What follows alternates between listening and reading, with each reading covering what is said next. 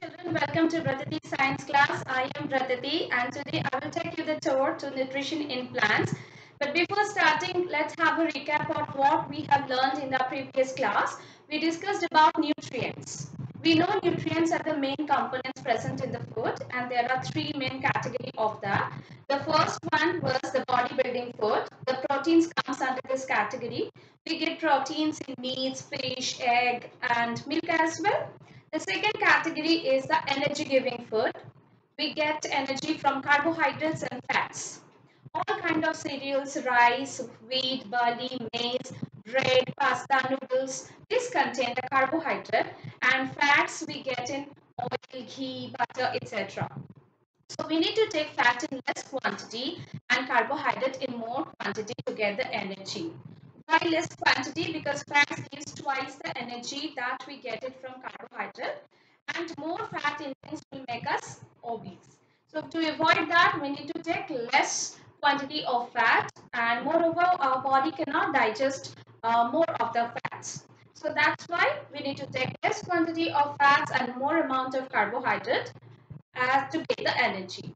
And the third category of food, the nutrients, the vitamins and minerals which are called the protective food that helps our body to fight against the disease. So we get the vitamins, I mean vitamins and minerals to all kind of fruits and vegetables, right? The more fruits and vegetables we intake, our body can fight against the diseases and we may uh, do not fall or get sick, right? So let's come to today's topic where I will write the topic as nutrition.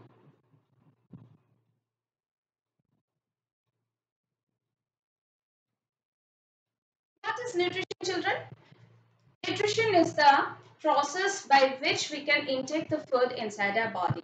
So all the living organisms, they intake the food to get the energy. Now the plants, the green plants, they can prepare their own food. You know, with the help of surrounding, they get the minerals, water, and with the help of sunlight and carbon dioxide, they prepare their own food by the process called photosynthesis. So in details in next sessions, we will learn about photosynthesis. So today we are learning about the different type of nutrition. There are main two category of nutrition depends on the mode of nutrition. So the first one is autotrophic nutrition. Auto means self.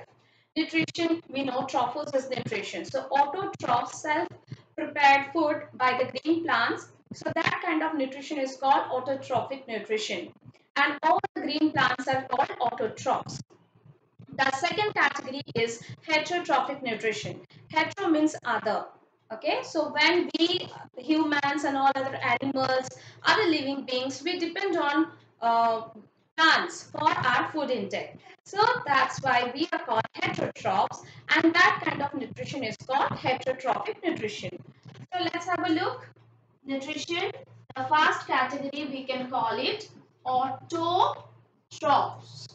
Autotrophic nutrition right? So for example the green plants will come under this category. All right? And the second kind of nutrition is i will write from that side. And the second category is heterotrophic. Heterotrophic nutrition that you know all other living beings. All other living beings depend on plants for their food and so they are called heterotrophs. Right children? So before ending the mind map today we learned the nutrition, the mode of food intake. Depending on the mode, there are two category of the nutrition that is autotrophic nutrition. Green plants will be under this category because they can prepare their own food. And the second category is heterotrophic nutrition. All other living beings, including humans, we depend on plants for our food. So we are called heterotrophs. Then, so see you in the next class with the trophic photosynthesis. Take care. See you.